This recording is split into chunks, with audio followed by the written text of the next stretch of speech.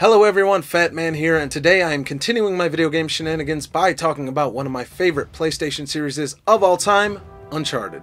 After Naughty Dog finished blowing people away in the PS1 era with the Crash Bandicoot series, and then repeated the task in the PS2 era with the Jak and Daxter series, they moved on to the PS3 hardware to kick all the ass and take all the names, by bringing us one of the most beautiful looking action-adventure platformers of all time. The Uncharted series basically cemented the idea that video games could serve as an equal to, or even better, means of telling and showing you a story than even film. Seriously, if you haven't played these games, pause this video right now and don't come back until you've played every single one because they are magnificent. Essentially a cross between Tomb Raider and Indiana Jones, these high production experiences continued to grow in popularity both critically and financially. And today they are looked at as a definitive entry into any gamer's catalog, and I mean, how could they not be? The witty, smart dialogue, the intense action, precise platforming, and top notch design of all of the game's worlds never ever slowed down for this franchise, at least in the main series entries. I want to preface this by saying there is truly not a single awful Uncharted game.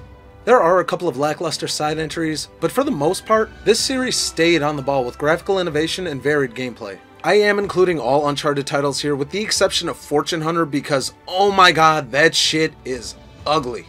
But you probably forgot that one existed anyway, so without further ado, here is Uncharted from worst to best. Number 7. Uncharted Fight for Fortune. Speaking of games you probably forgot existed, the first spot goes to Uncharted Fight for Fortune a turn-based card game released for the PlayStation Vita in 2012. As far as cash grab card game titles go, this one isn't painful or anything, but it is glaringly obvious that this was just an attempt to use the Uncharted characters to add a game to the Vita's relatively small library.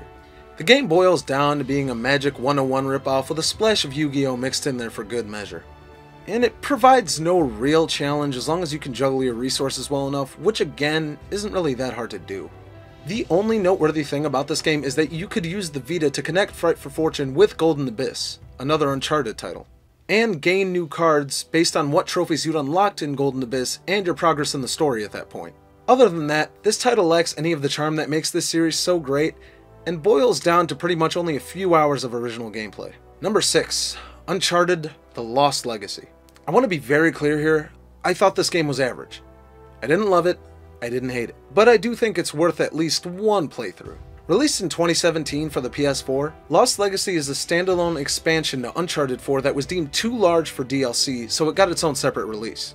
Nathan Drake isn't featured in the game at all, and instead we see the world through Chloe Frazer's eyes, as well as her partnership with Nadine Ross. So here's my issues with this game. It looks great, and it plays great outside of a few bugs here and there, but it does absolutely nothing to deviate from Uncharted 4. I understand that it was originally intended to expand upon that game, but there is absolutely nothing in this game that you hadn't seen a year earlier in Uncharted 4. And I'd even argue that Lost Legacy does a little bit less than Uncharted 4 did. For one thing, I'm sorry, but I really don't think they knew what they wanted to do with Chloe's character at this point. Instead of the absolute badass we got in Uncharted 2, she's basically reduced to a daddy's issues girl that just wants a friend. and Nadine.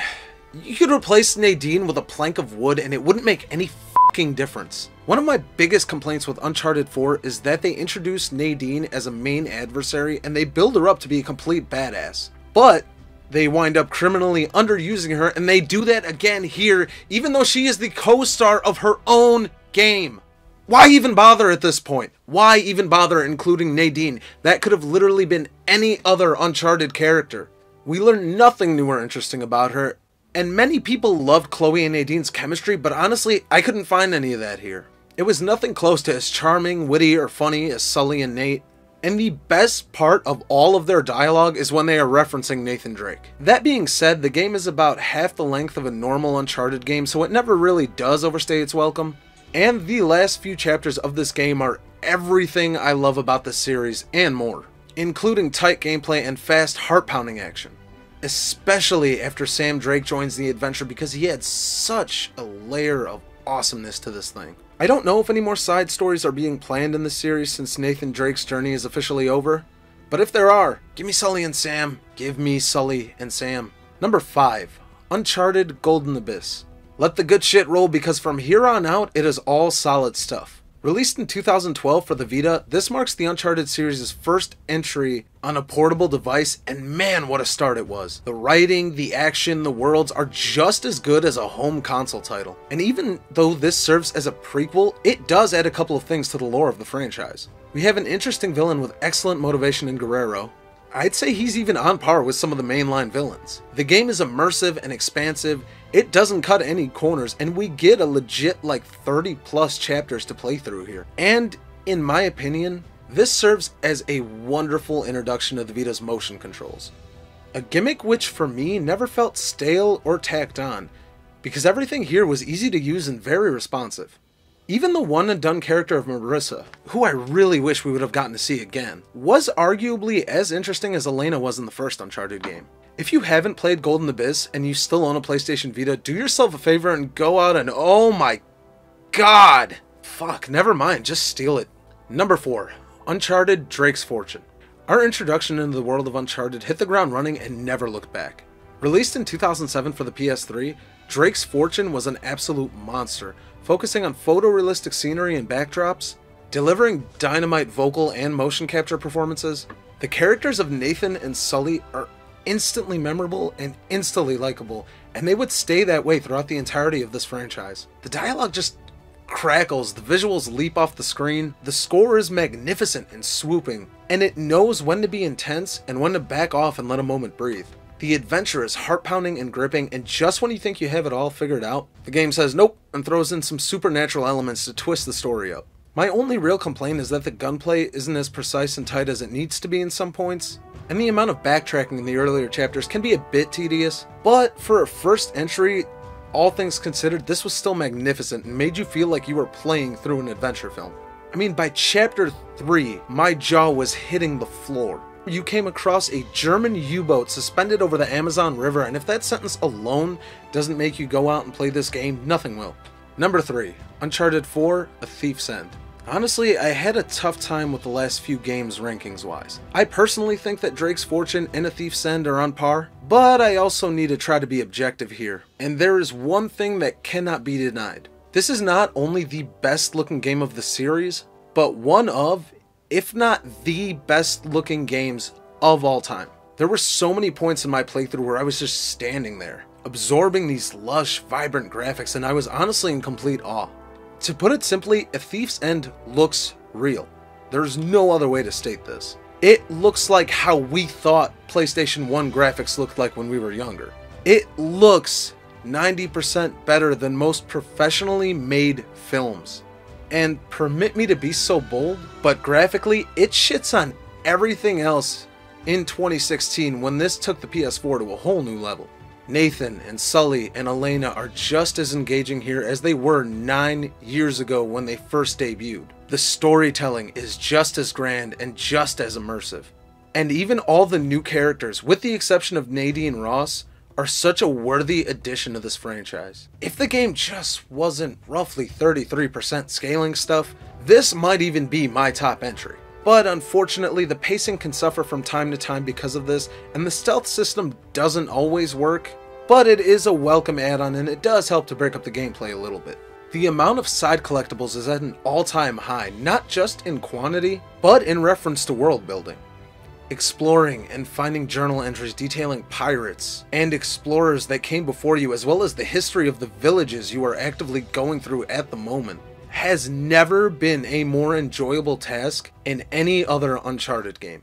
To give one final note of credit, this game ends. It actually comes to a close. This game officially closes the chapter on Nathan Drake's adventures. And I'm not going to spoil how just in case, but it is really satisfying and even somewhat bittersweet. For Sony to actually look at Uncharted and say, hey, let's give this game an actual fucking ending, and not just end it on an open note, a cliffhanger, a stupid shitty cash grab, or just straight up do absolutely nothing with it, was marvelous, and if one character truly does deserve a great ending, it is Nathan Drake. Number 2, Uncharted 3 Drake's Deception, PS3, 2011 it has arrived. If ranking Uncharted 1 and 4 was tough, this is damn near impossible. Uncharted 2 and 3 are both in my top 20 favorite video games of all time. The story is immaculate and it just keeps building on a larger and larger scale. The characters start becoming more fleshed out with flaws and weaknesses, and become even more likable and relatable because of that. The fact that there are two entire chapters in Drake's Deception where you're wandering around in a drugged out haze or just meandering through the desert and they're fun and they're great to play and a treat to look at is outstanding and truly a mark of how well of a job they did with this game. There are too many good sequences to count. The plane crash, the castle, the desert, the horseback chase. I literally am struggling to find something to complain about and am reduced to being the fat, nitpicking bastard that I am. Or I was going to be initially. This was the part of this script where I had written down Marlowe, our main villain. Isn't that good? That's it. That's the only thing wrong with this game. But then a buddy of mine brought up a really, really good point. Prior to this, you'd had tough guy meatheads and military generals and just generally scary looking dudes. And initially, that was my only point of contention in Uncharted 3 was I didn't like Marlowe that much.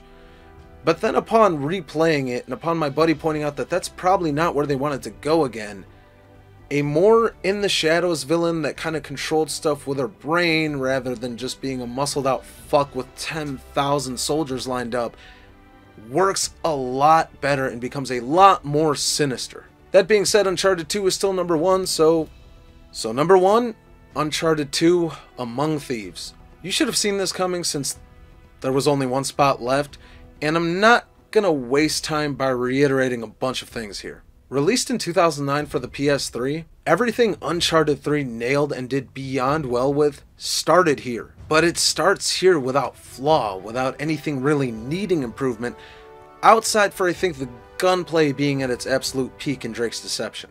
We're introduced to Chloe here for the first time, a character that remains mostly badass throughout the series. The weaving of real life myths and legends with the game's supernatural elements is absolutely seamless and, in my opinion, at its best in Uncharted 2.